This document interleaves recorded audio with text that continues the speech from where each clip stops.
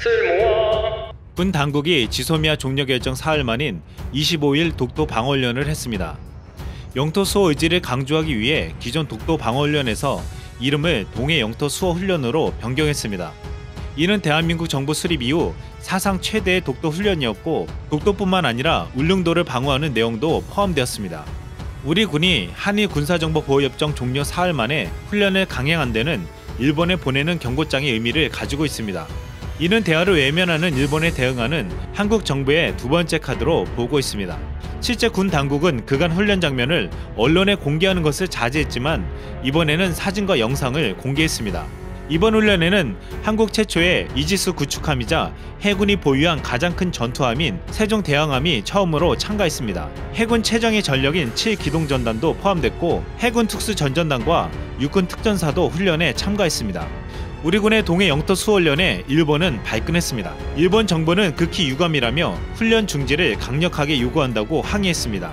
하지만 일본도 같은 날 후지산 인근에서 육상 자유대에 대규모 화력 훈련을 했습니다. 훈련에는 자유대원 2,400명이 동원됐고 전차와 장갑차 80대와 항공기 등이 2시간 동안 실탄 35톤을 쏘았습니다. 주목할 부분은 이 훈련이 육상 자유대의 도서 지역 방어 능력을 점검한다는 것이었습니다. 중국과 분쟁 중인 센카쿠 열도 등의 선 방어 훈련이라고 했지만 우리 군의 독도 훈련에 대응하는 훈련으로 볼 수 있다는 분석이 있었습니다. 한국과 일본이 같은 날 군사훈련을 벌인 가운데 그렇다면 만약 독도에서 한국과 일본이 군사적으로 붙는다면 누가 이길까요? 세계 각국의 군사력을 평가하는 미국의 Global Firepower라는 사이트에서 지난해 일본의 군사력이 6위로 뛰어올라 7위를 유지한 한국보다 앞선다는 평가가 나왔습니다. 일본 전력의 핵심은 공군과 해상 전력입니다.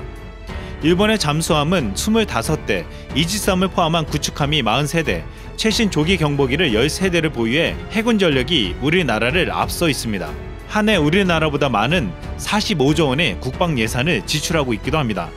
하지만 일본이 한국과 붙으면 절대로 이길 수 없다고 말하는 이유가 있습니다. 한국에는 공격형 미사일이 있지만 일본에는 없기 때문입니다. 일본은 평화법 때문에 자국 방어적 무기만을 보유할 수 있는 한계로 공격용 미사일을 가질 수가 없습니다. 미국은 일본뿐만 아니라 한국에도 장거리 미사일 개발을 제한했지만 북한이 탄도 미사일 보유량을 급격히 증가시키자 2012년 300km로 제한되어 있던 한국의 미사일 사정거리를 800km로 연장했습니다. 2017년에는 북한의 ICBM 개발로 인해 미국은 한국의 사거리 800km를 초과하는 고체 로켓 개발만 못하게 하고 한국의 탄도미사일 사거리와 탄두 중량 제한을 완전 해제했습니다. 이로 인해 가장 최근에 개발된 현무3C는 1500km 사거리로 북한 전역뿐만 아니라 중국, 러시아, 일본을 타격할 수 있게 되었습니다.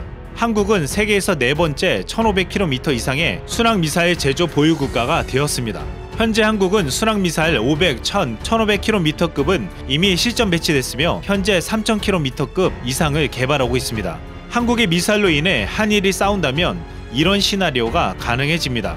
한국과 일본이 붙으면 순항 미사일과 단거리 탄도 미사일로 일본의 방공망을 제압한 뒤 일본의 주요 경제 시설과 군사 시설들을 레이저 유도 폭탄으로 타격할 수 있습니다.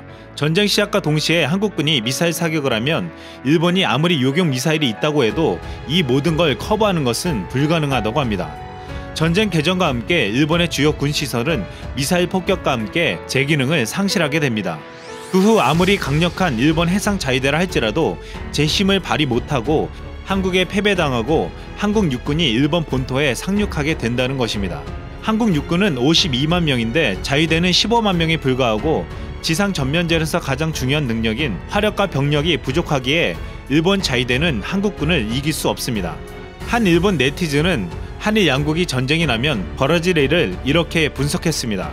만약 한일 양국에 전쟁이 일어나면 일본은 한국에 질 것이다.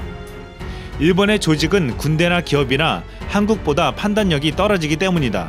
실제로 한일 합동 군사훈련에서 자위대와 한국군이 모의 전투를 하면 자위대가 완패하고 있다. 자위대는 탈행병을 처벌하는 법률이 없기 때문에 전쟁이 발발하면 10%는 자위대를 그만둘 것으로 예상된다. 일본은 전쟁이 나면 나라를 위해 싸우겠다고 대답한 사람의 비율이 세계에서 가장 낮다. 한국은 일본과 전쟁이 나면 많은 국민들이 기꺼이 전장으로 갈 것이다.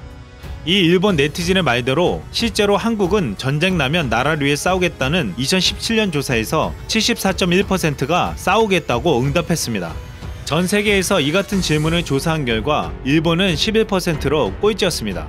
또한 일본 네티즌은 자유대를 이렇게 말했습니다. 자유대원들 대부분은 진심으로 전쟁을 할 생각이 없다. 자유대는 싸울 수 있는 군대가 아니다. 그들은 세금을 사용하여 근육 트레이닝을 하고 있을 뿐이다. 이상 술멍이었습니다.